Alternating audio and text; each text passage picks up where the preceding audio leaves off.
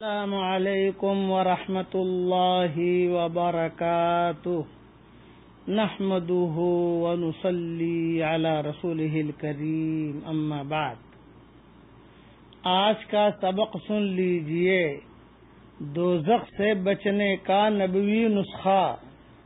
बहुत अहम सबक है, ध्यान से सुनिए।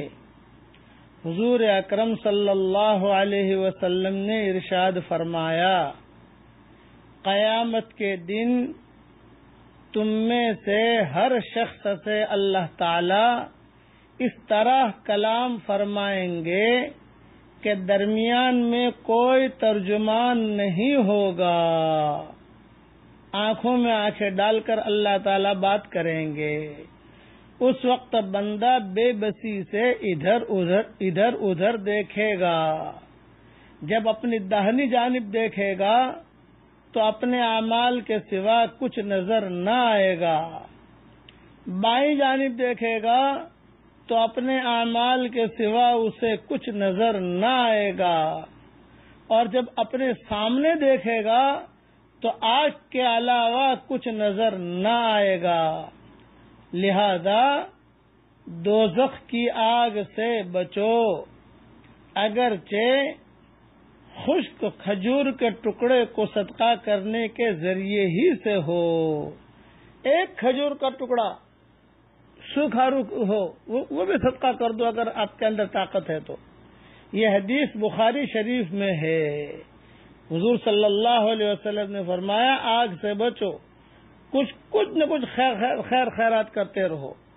ये एक मरतबा हदीस फिर से सुन लीजिए और याद कर लीजिए।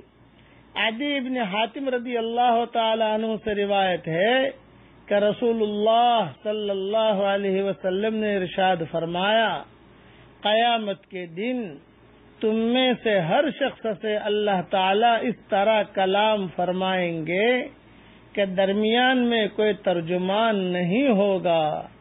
उस वक्त बंदा बेबसी से इधर उधर देखेगा, जब अपनी दहनी जानब देखेगा तो अपने अमाल से अमाल के सिवा उसे कुछ नज़र न आएगा। और जब बाएँ जानिब देखेगा तो अपने अमाल के सिवा उसे कुछ नज़र न आएगा। और जब अपने सामने देखेगा तो आग के अलावा कुछ नज़र न आएगा। लिहाजा दोजख की आग से बचो। अगरचे खुश्क खजूर के टुकड़े को सदका करने के ज़रिए ही से हो। मेरा ये हदीस बुखार शरीफ में है। मेरा ये सबक मिलते ही कम से कम दो रुपया तो सदका कर ही देना।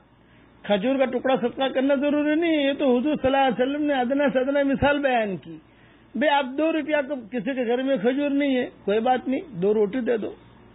किसी के घर में जो है दो रोटी नहीं है, मस्जिद में जा रहा है, दो रुपया मस्जिद में डाल दो। ये मस्जिद में जो डिब्बे रखे रहते हैं, कम से कम दो दो रुपया डालते रहो डालते रहो डालते रहो।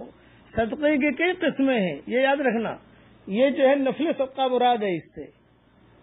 एक सबका जो होता है, वाजिब होता है, जो जक़ात की शक्ल का होता है। लेकिन यहाँ जो कहा गया कि फकीर को दे दो दो रुपया दे दो, मस्जिद में दो रुपया डाल दो हाँ और ये दो दो चीज़ें देने की मुस्तकिल फजीलत है।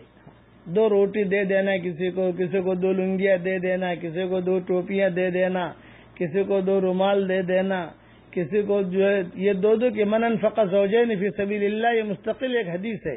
बाद में इंशाल्लाह अर्ज़ करूँगा। बस आज का सबक तो ये है कि कुछ न कुछ सदका कर लो और उसकी आदत डालो और अपने हाथ से सदक़े की आदत डालो। खुद अपने हाथ से दो। फकीर के हाथ में दो तो अपने हाथ से दो। हदीस शरीफ में आता है, अपने हाथ से अगर कोई आदमी फकीर के हाथ में देगा तो अल्लाह ताला बुरी मौत से उसकी हिफाजत करेगा। ये याद रखना, अपने हाथ से देने की कोशिश करो। अल्लाह ताला हम सबको खैर, खैरात और सदकात करने की तोफ़ी अता फरमाए। वसलामकुम वरहमतुल्लाहि वबरकातुह। वाखिर दावाना अनिल रब्बिल आलमीन।